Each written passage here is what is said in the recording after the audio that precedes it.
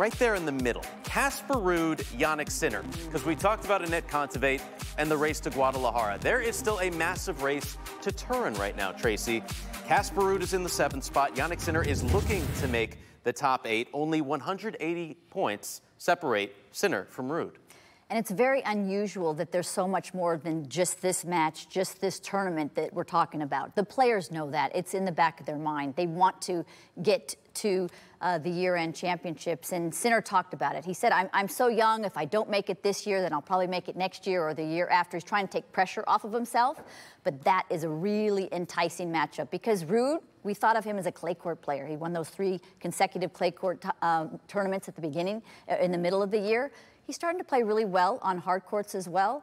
But Sinner, he's looking great, Paul, indoors. I just love his game. And yeah, yeah. he's been playing great tennis, he's right? such an oh, athlete. That's amazing. And, and for Ruud, we've mostly been talking about on the clay. He's getting comfortable on the hard courts.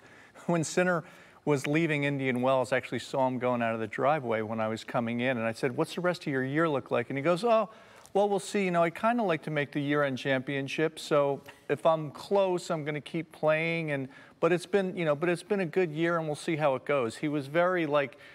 It wasn't about pressure. It was about opportunity. You know, it wasn't like he was, if he didn't make it, he was going to be heartbroken. And I think that's how he's playing, winning the title last week. And again, this week, swinging so freely. He is so good indoors. I mean, he is so good without any elements. He's good anyway, but without the elements, he's brutal.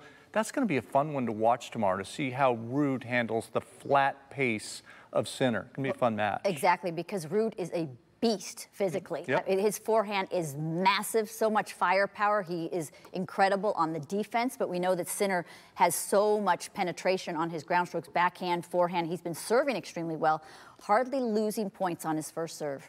Who wins? Oh, I'm going with Sinner. Me too. All right. Two votes for Jannik Sinner. We shall see.